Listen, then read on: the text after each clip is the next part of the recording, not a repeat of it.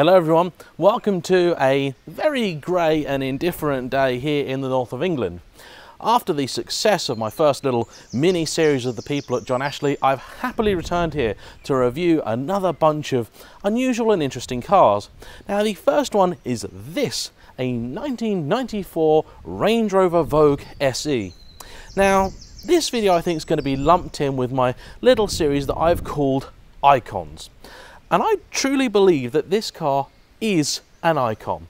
The only other vehicles that are in the series so far are the Ford Model T and the VW Beetle.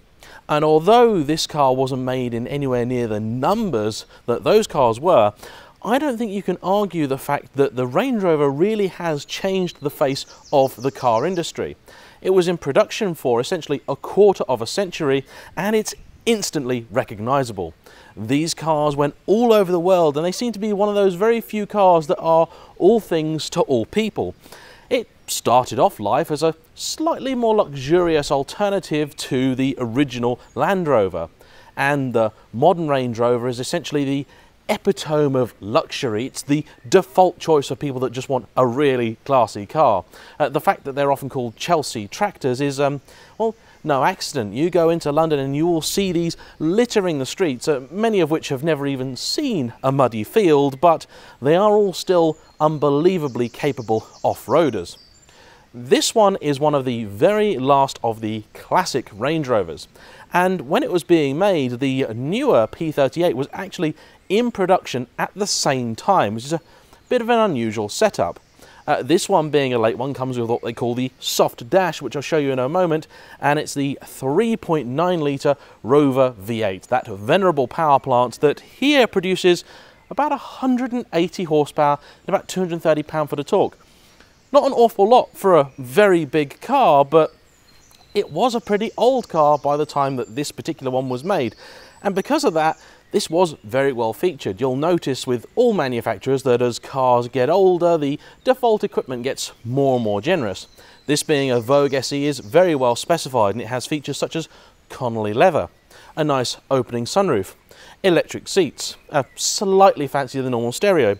Uh, this one's even got air suspension and it's got a four-speed automatic gearbox too and all sorts of various things that you kind of think are pretty good. It's even got cruise control in it too, which granted wasn't particularly unusual for the time, but was still an optional extra that you wouldn't often find in cheaper cars. The exterior of a Range Rover, what can I say about it? Well, I can say that it's a steel chassis with aluminium panels and much like the original Land Rover and the later Defender, it is very flimsy indeed. In fact, this bonnet we've just had open for a few pictures, and it wibbles around like this. And uh, same thing with the tailgate. It's kind of hard to get it closed now because so many people have pushed the middle, where the handle is, that um, it's started to bow. So um, it's all very typical British car in many ways. And I have to confess something. I've never actually driven a proper Range Rover before. The only one that I've ever driven is a Range Rover Evoque, and let's be honest here, it's not a real Rangy, is it? Anyway, let's take a look inside. The interior is called Westminster Grey. It's not that bad, actually. I'm generally not a big fan of uh, lighter coloured interiors, but it does work. Uh, this is the aforementioned soft dash, which does look uh, considerably more modern than the one that it replaced, and this was essentially uh, a sort of thing that BMW donated to them. Uh, the switchgear in here is all uh, a little bit old-fashioned, but that's fine. This is, after all, an old car. Electric seats is quite a nice thing to see. The sort of slightly odd and bit dodgy, cheap-looking wood in the middle, less so. The wood in the doors looks nice, and it is a strange thing in here. Now, Here's one thing that I do want to address in this video. It's no great secret that I'm not a particularly small or slender person, and I often get people ask me if I can fit in a car okay, usually prefaced by the thing, I don't want to offend you, but, well, no offence taken. I fit in a narrow-bodied Caterham, which anyone that's tried to do that will tell you is an achievement. And actually, I fit in there in, in quite good comfort. However, fitting in this thing isn't all that easy, and not at all for the reason that you might think. You see, I can get in here, and this is the seat in its lowest position. I cannot get this thing any lower. And I've got, if I sort of sit upright, my head, not just my hair, is touching the ceiling. Now, perhaps the sunroof has stolen a little bit of headroom, as is often the case, but if you're especially tall, I couldn't really recommend one of these to you. And although I haven't driven a Range Rover before, a proper one, I have driven a Defender before. And one thing about this car is very familiar to me from that experience. This is really narrow. In a nice big luxurious car, I want plenty of room to get my elbow rested on the door, but in this thing, I feel like I'm right cramped in here. It's almost like being in a Lotus again.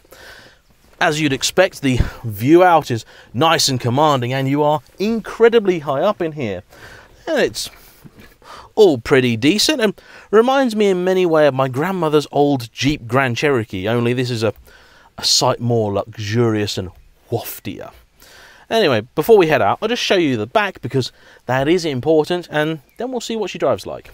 This is the aforementioned tailgate, which, as you can see, has a nice big handle here, which is exactly what you would think you would use to both open and close it.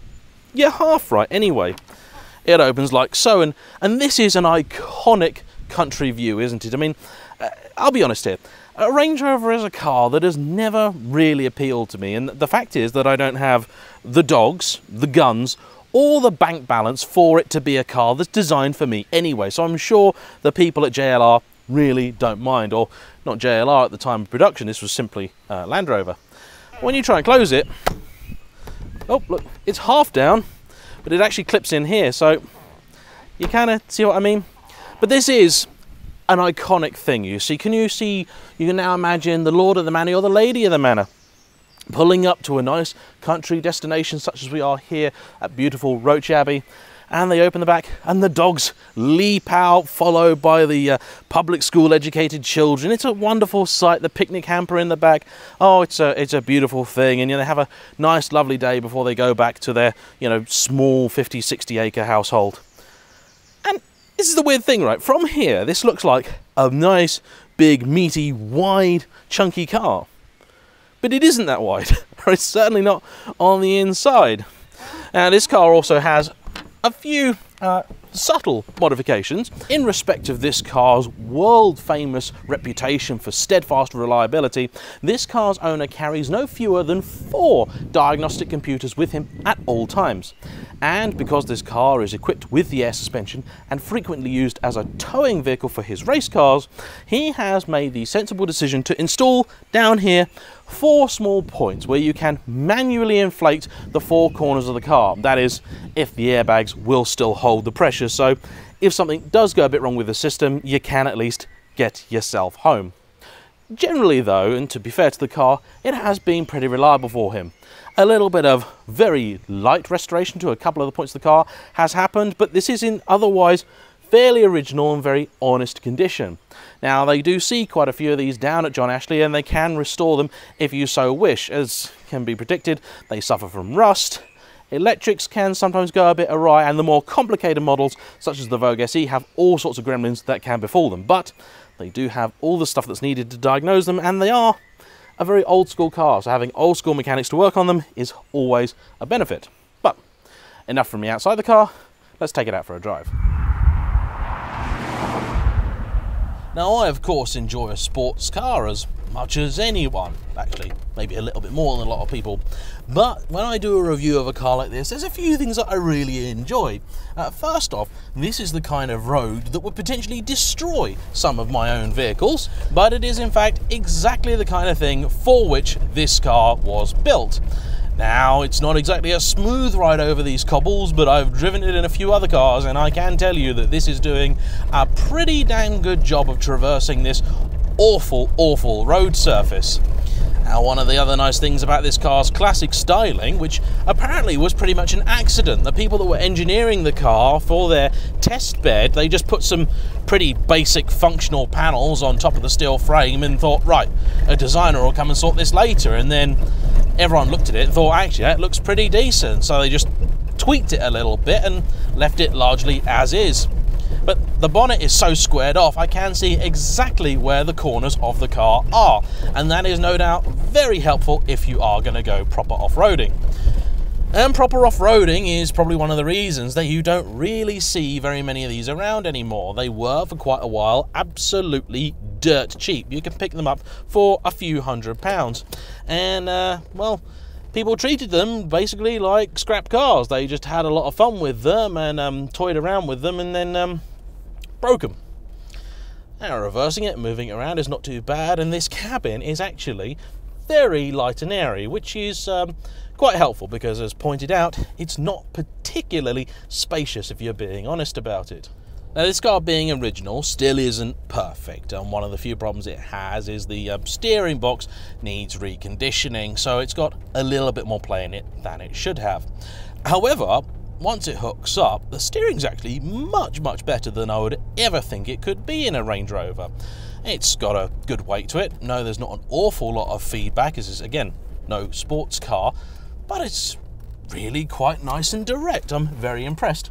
Of course, it is a very slow rack, which you'd want it to be in a proper off-road vehicle, and it has the same turning circle as the battleship Bismarck, but that is, again, no different from a Defender. The car makes a pleasing note, but it's not too raucous. Uh, the exhaust is also totally standard, and the owner has resisted temptation to make it bark and shout. And in fairness, I completely agree with him on this one. I love a shouty exhaust note, but in this car it just wouldn't suit. If for no other reason than with the auto box, it would make some very strange and silly noises, and of course, it wouldn't be any faster, it would just be more obnoxious than need be. And believe it or not, an old Range Rover these days is nearly about understated refinement. There's a few creaks and squeaks and things in here, but you can tell that they are just pieces of interior trim that need a, a little bit of massaging or perhaps a helpful dab of Vaseline to quieten them down. The ride from the air suspension is actually surprisingly good. Now, I can't say that this is ever a car that I would buy, but I do kind of get the appeal. It does actually feel reasonably solid from in here, which is what makes it all the more surprising when you go to move the body panels around and you find out just how flimsy they really are. The Vogue SE had this 4-speed autobox as standard. The other cars had a 5-speed manual and the autobox was an option. You could have the 5-speed manual if you had a Vogue SE, but it was a no-cost item. You didn't get any money back for it, and I suspect most people would just leave the auto box on there. Now the problem with that 4-speed box having so few ratios to choose from is the fact that at certain road speeds the car will be revving unnecessarily high and that will no doubt contribute to this car's woeful fuel economy. But then you were never going to buy an old Range Rover to save the planet, were you? I guess the newer cars with their big 5 litre supercharged engines are perhaps more palatable. They still drink like a fish, but at least they move like a dolphin. Even if you jam your foot against the floorboards, you're never going to get anywhere near the sort of thrust that you'd expect from a big old powerful car because it isn't a big old powerful car, it's, it's just a big one but the engine is actually quite refined and I think suits this car very well. A diesel was available, though it's worth noting that it only came about about halfway through the car's life. It was only in the mid 80s that the diesel ever happened. They tried making diesel versions of the petrol V8, and if you ask the Americans, whenever you try and make that happen, it always ends very badly. In truth, the more that I drive this, the more I kinda like it. I drove it to the filming location earlier and I really wasn't enjoying it at all. Uh, partly because I was still getting used to the seat adjustment and I was very cramped in the car, but now I've lowered it as far down as it'll go, it's not too bad. I'd still strongly advise anybody exceptionally tall to check they fit before thinking about buying one of these though. Now, these are a rare sight, and it's quite a simple reason, really. These suffer from almost the perfect storm for classic car rarity. They were expensive to buy in the first place. They are still very expensive to maintain. They are very expensive to run, even if things don't break, and they will break. They rust, and people bought them when they were dirt cheap and beat the living daylights out of them. So if you do find one to buy, there's a very good chance it might be hiding an awful lot of things. And those are the simple reasons that neither these nor the P38s are a very common sight anymore. I remember about 10 years ago, you saw P38s all the time. They're a very fun, popular car for people to buy if they wanted some budget luxury, but now, sadly, they are no more. If you want a super luxurious car on the cheap, I would personally recommend something more like a BMW 7 Series. There is actually a bit of a familial connection between the 7 Series and the P38, although um, uh, BMW's involvement with Rover by that time was done. Truthfully, this Range Rover is going to go firmly in that category of cars that I don't really like, but I get it. I respect it. I see why it was so popular. I wish that only farmers and landed gentry kept buying them, and I hate the fact that they have now become a symbol for sort of urban excess. And I think it is something of a tragedy because to this day they are still an extremely capable off road vehicle. But I can't really blame Land Rover for that. They simply made a vehicle that people wanted to buy. And that is why, to me, the Range Rover really is an icon. And if any car is possibly responsible for the modern trend in vehicles, well, if you trace back all these crossovers and things people are buying now, this is probably where it all started. Damn you, Land Rover. Anyway, hope you've enjoyed this brief little look at an iconic car. I'd love your suggestions as to what you think I should cover next. What other vehicles have been as legendary and as important as this one? Thanks all for watching. Please comment below, hit the like button and subscribe if you haven't already because it does make a big difference to me and the channel. And we'll see you for the next one because I've got something really cool coming up. Bye-bye.